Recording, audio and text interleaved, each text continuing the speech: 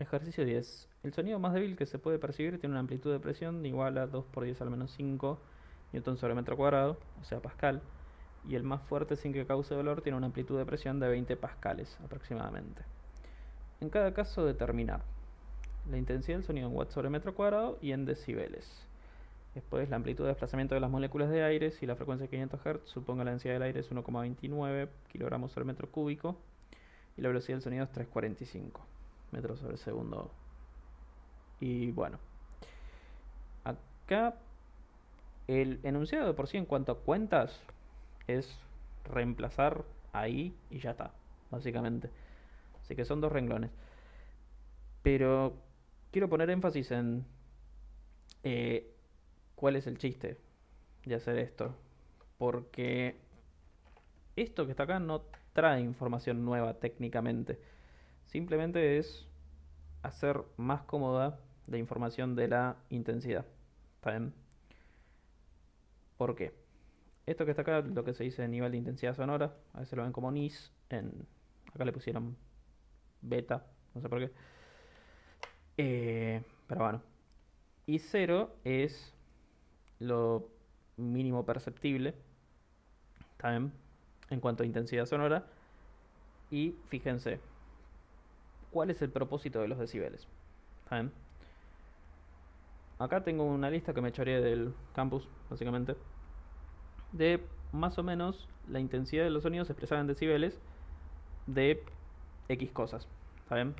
Ahora, fíjense la diferencia entre esto y esto. Entre una biblioteca y una conversación suave. O sea, dos cosas relativamente silenciosas, ¿no? Voy a pasar esa diferencia a eh, intensidad. ¿Está bien? Sería despejando de acá. También tengan en cuenta que esa fórmula, en realidad, esto debería decir 10 decibeles acá. Y sobre I0, también. Así que si despejo I de acá, me va a terminar dando eh, básicamente nivel de intensidad sonora sobre 10 decibeles. Eh, el logaritmo pasa del otro lado como una potencia de 10. Sería 10 a la esto eh, por y 0. ¿Está bien? esto sería algo así. Esto es un exponente. Buenísimo. Entonces, fíjense qué es lo que sucede. Si yo pongo una biblioteca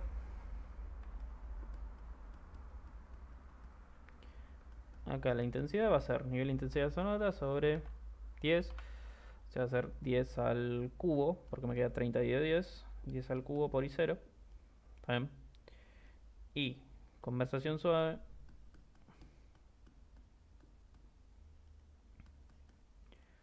Va a ser i 10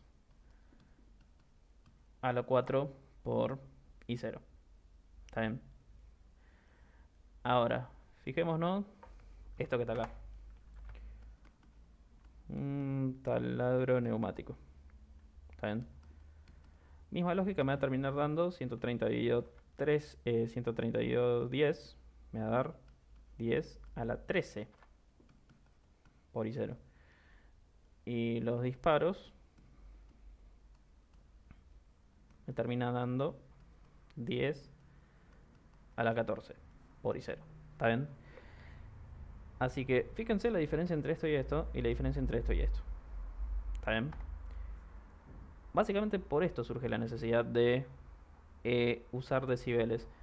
Porque hablar de diferencias en intensidades directamente en watts sobre metro cuadrado no me dice absolutamente una goma. ¿Está bien? Porque, fíjense, ¿qué diferencia hay entre esto y esto? Es...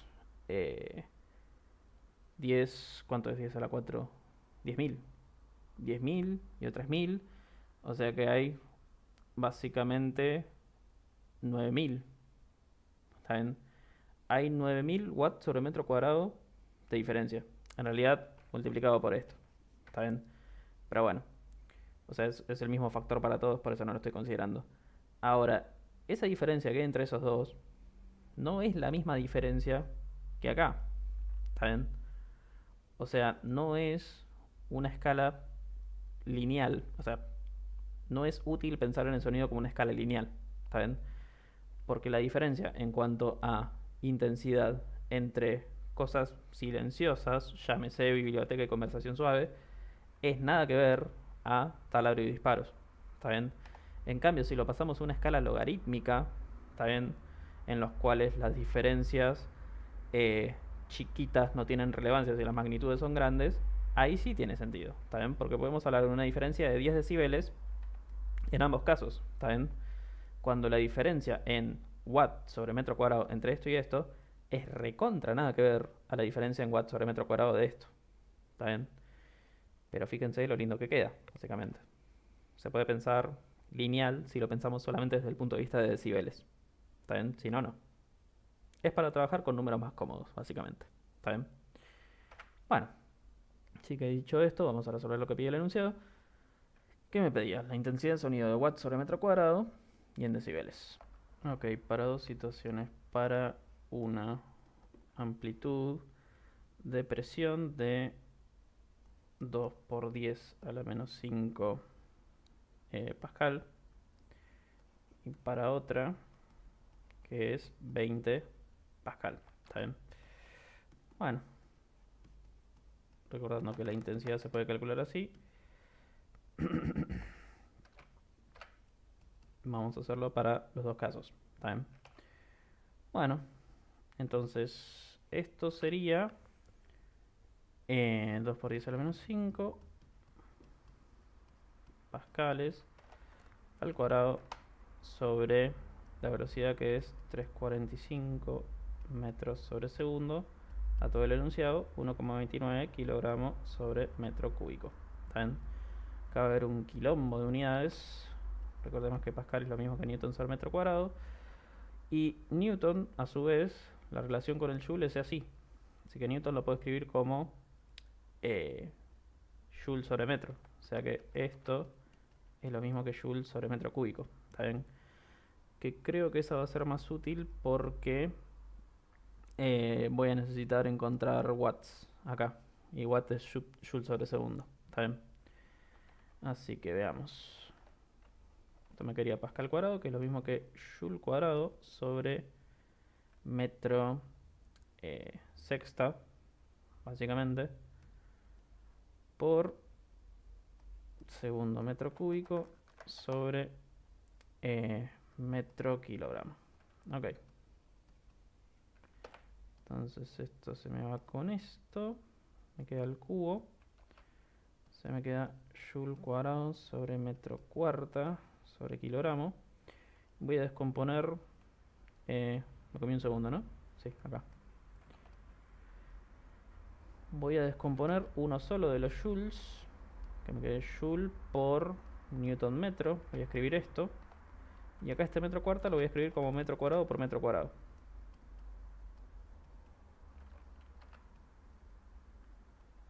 Que me queda así. Así que eh, no. Metro cubo por metro me gusta más. Porque... Eh, pienso.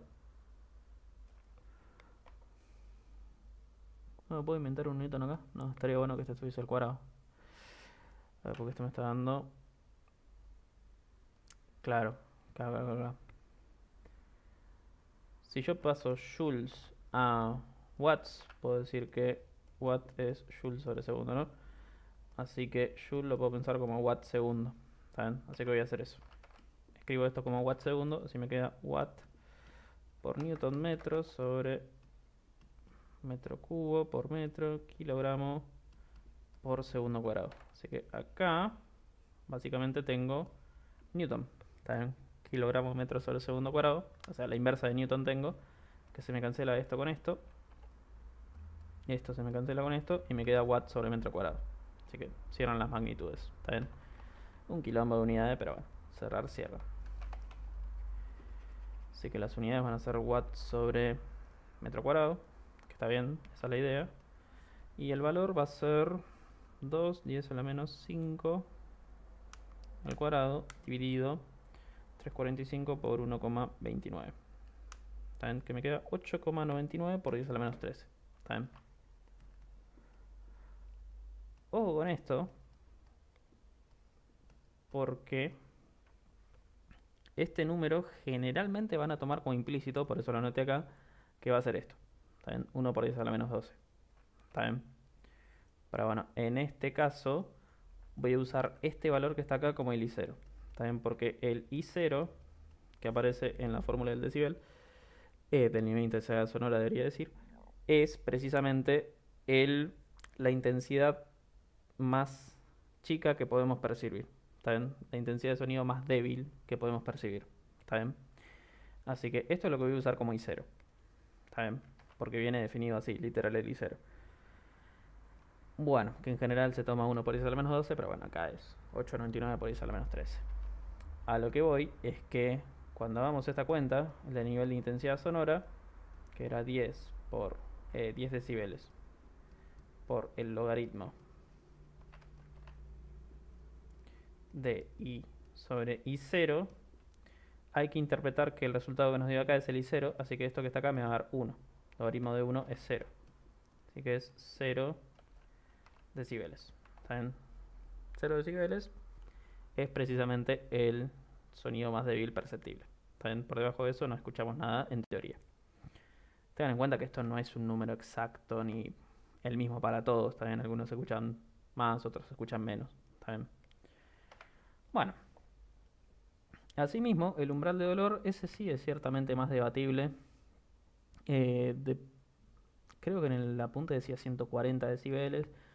A veces aparece como 120, pero bueno, es más debatible. Vamos a ver qué es lo que toman como umbral de dolor acá. Porque me dicen, el más fuerte sin que cause dolor tiene una amplitud de presión de 20 pascales. Así que voy a usar la misma fórmula. ¿Está bien? Solamente quedará reemplazando 20 pascales. Al cuadrado sobre 3,45 metros sobre segundo por 1,29. El quilombo de unidades es el mismo, así que no lo voy a hacer de nuevo. Eh, voy a hacer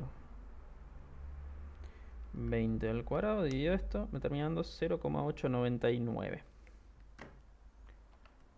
0,899 watt sobre metro cuadrado. Así que si hacemos el nivel de intensidad sonora, va a ser 10 por el logaritmo. 10 decibeles, capo por el logaritmo de 0,899 watts sobre metro cuadrado dividido lo que habíamos tomado como eh, lo que es apenas audible, 8,99 por 10 a la menos 13. En este caso, esto en general va a ser 1 por 10 a la menos 12, ¿está bien? Bueno. Así que lo de dentro del logaritmo me queda dimensional como debe ser. Y em, esto me va a terminar dando 10 por el logaritmo. Tengan en cuenta que este logaritmo es en base 10, no es el natural.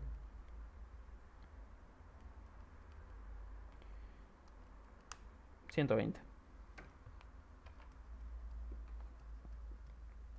Así que el umbral de, umbral de valor en este enunciado lo están tomando como 120. Así que ya, y tiene medianamente sentido, ¿no? Esto ya no sería soportable. Bueno. Así que después me piden la amplitud de desplazamiento de las moléculas de aire y la frecuencia 500 Hz, que es esta fórmula que está acá. ¿Está bien? Así que es simplemente cuestión de reemplazar los dos valores ahí. ¿Está? Voy a hacerlo por acá. Porque es una cuenta nada que ver a la que hicimos recién. Para un caso es 2 por 10 a la menos 5 pascal sobre 2 eh, velocidad delta pi por f 2 por 345 por 1,29 por pi por la frecuencia. O sea, esto que está acá es básicamente el omega. ¿Está bien? Bueno, la frecuencia es de 400 Hz.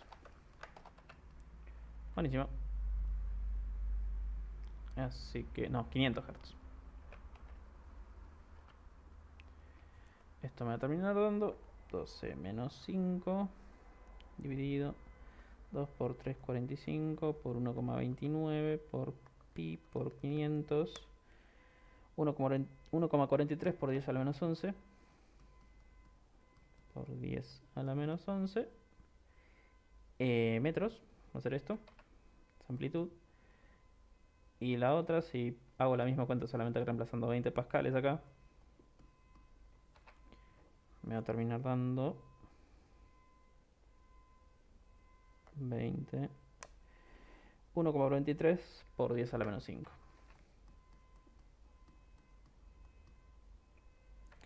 eh, metros. Perfecto